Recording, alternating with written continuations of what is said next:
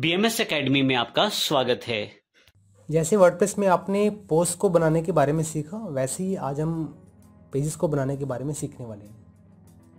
WordPress में post को बनाने के लिए आपको पोस्ट सेक्शन में जाकर होवर करना पड़ता होगा एंड देन ऐड न्यू और आप चाहें तो न्यू पर जाके भी पोस्ट को क्रिएट कर सकते थे। वर्डप्रेस के अंदर एक नया पेज ऐड करने के लिए आपको पेजेस सेक्शन पर होवर करना है एंड देन आप यहाँ से ऐड न्यू करके नए पेज को क्रिएट कर सकते हैं। अदरवाइज़ टॉप बार में टूल बार जो कि वर्डप्रेस का दिया गया, इसमें न्यू ऑप्शन पर अगर आप होवर करते हैं, इस ऑप्शन में जाकर भी आप पेज पर क्लिक करके एक नए पेज को क्रिएट कर सकते हैं। मैं यहाँ से क्लिक करके एक नया पेज क्रिएट कर देता हूँ। नए पेज को क्रिएट करने के लिए आपका जो इंटरफेस कुछ इस तरह से दिखने वाला है। इस इंटरफेस के अंदर आपको बैकग्राउंड में कुछ कलर एड ऑन मिलने वाला है, जो कि आपके डैशबोर्ड में वाइट हो सकता है। ऐसा इसलिए क्योंकि मेरे पास यहाँ पर 2020 नाम की एक थीम एक्टिवेटेड है। और 2020 थीम की ये फैसिलिटी है कि वो बैकग्राउंड में आपको इस तरह का कुछ कलर सेटअप देता है। मेरे पास ये जो थीम अवेलेबल है, ये इस नाम से है 2020 जो कि वर्डप्रेस की डिफ़ॉल्ट थीम है और ये ईयर वाइज अपडेट होती रहती है। पेजी सेक्शन में जब आप इंटरफेस को चेकआउट करते हैं तो आपको कुछ इस तरह का इंटरफेस देखने को मिलता है, जिसपे आप स्टार्टिंग पर एक नया टाइटल दे सकते हैं माई होम मैं यहाँ पर माई होम के नाम से टाइटल देना चाहता हूँ और डिस्क्रिप्शन के तौर पर आप यहाँ पर जब सिंपली क्लिक करते हैं तो एक नया ब्लॉक ऑलरेडी क्रिएटेड है। इसके अंदर आप अपने डेटा को पेस्ट कर सकते हैं। मैं यहाँ से सैंपल डेटा पिक कर लेता हूँ। मेरे पास यहाँ पर एक एक्सटेंशन है सैंपल डेटा के लिए। मैं कॉपी करके यहाँ से इस डेटा को पेस्ट अप करता हूँ। इस तरह से बाकी कुछ डेटास को भी मैं इसे हेडिंग में कन्वर्ट कर देता हूँ। हेडिंग थ्री में। तो इस तरह से आपका जो इंटरफेस रहता है, वो इस तरह से देखने को मिलता है। जब आप कोई भी नई पोस्ट क्रिएट करते हैं तो डॉक्यूमेंट सेक्शन में आपको सेम ऐसे ही ऑप्शंस मिलते हैं। Status in visibility feature image discussion page attributes जो पेज एट्रीब्यूट्स का सेक्शन है, ये पोस्ट के सेक्शन से काफ़ी अलग है। पोस्ट के अंदर इस सेक्शन की जगह आपको कैटेगरीज और टैग्स नाम से ऑप्शन दिखता है, जहाँ पर आप उस पर्टिकुलर पोस्ट को कैटेगराइज कर सकते हैं और उसमें टैग्स फिलअप कर सकते हैं। और पेजेस के सेक्शन में आप यहाँ पर पेज एट्रीब्यूट्स देख रहे हैं कि उस पेज को आप वर्डप्रेस के अंदर किस टेम्पलेट के तौर पर दिखाना चाहते हैं। इसे हम आगे के कुछ लेक्चर्स में कवर करने वाले हैं। एंड देन उसके बाद हमारे पास पेरेंट पेज यहाँ पर ऑप्शन देख रहे हैं। ये रिलेशनशिप तौर पर है। जैसा कि मैंने वीडियो में आपको बताया कि एक पेज का दूसरे पेज से पेरेंट और चाइल्ड का रिलेशनशिप रहता है। तो इस तरह से आप यहाँ पर उस रिलेशन को सेटअप कर सकते हैं। यहाँ पर मेरे पास दो पेज अवेलेबल हैं। अगर आप इस पर्टिकुलर पेज को इनमें से किसी पेज का चाइल्ड पेज बनाना चाहते हैं तो उनमें से इस पर क्लिक करेंगे तो सैंपल पेज का जो चाइल्ड पेज, वो ये वाला बनने वाला है।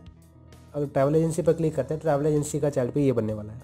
इन वन वर्ड अगर मैं कहना चाहूँ तो यहाँ से आप इस पर्टिकुलर पेज का पेरेंट पेज सेलेक्ट कर सकते हैं।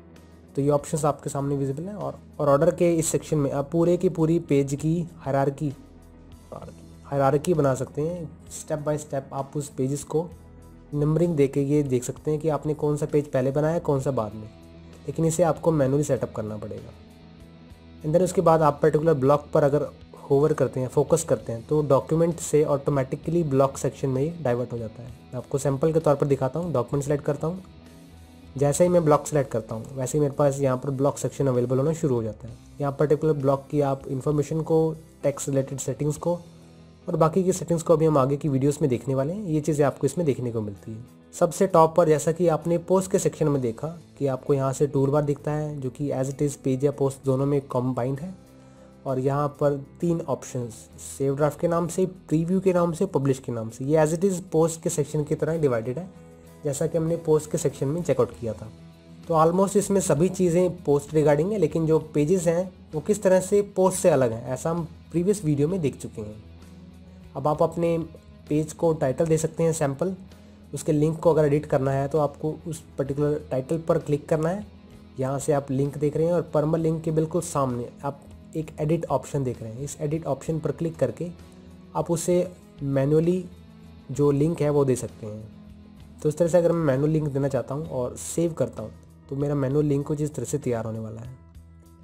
एंड डिस्क्रिप्शन को भी आप चेकआउट करें। डिस्क्रिप्शन को अपने हिसाब से रखने के बाद आप इसे डॉक्यूमेंट सेटिंग में जाकर अगर शेड्यूल करना चाहते हैं पूरी की पूरे पेज को तो आप उसे भी कर सकते हैं। ऐसा आप पोस्ट के केस में भी देख चुके थे कि अगर आप उस पोस्ट को शेड्यूल करना चाहते हैं तो उसे भी कर सकते हैं और वैसा ही पेजेस के साथ भी।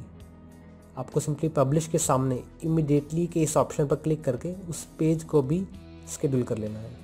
मैं भी इसे स्केड्यूल नहीं करना चाहता, मैं इसे इंस्टेंटली इमिडिएटली पब्लिश करना चाहता हूँ।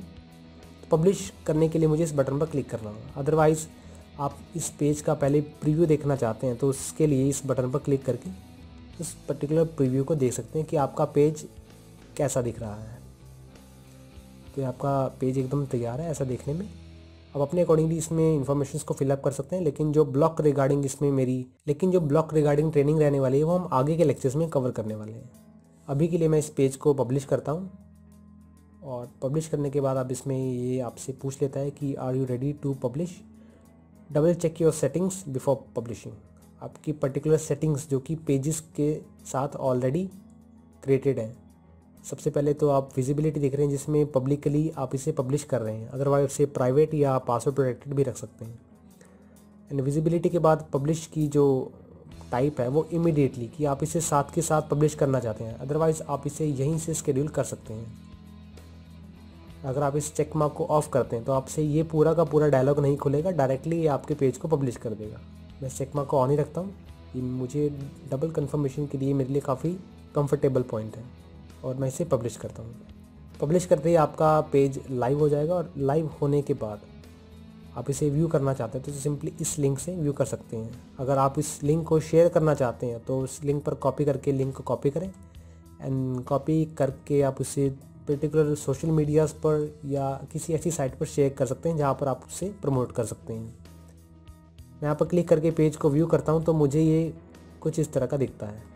तो इस तरह से आप एक नए पेज को क्रिएट कर सकते हैं।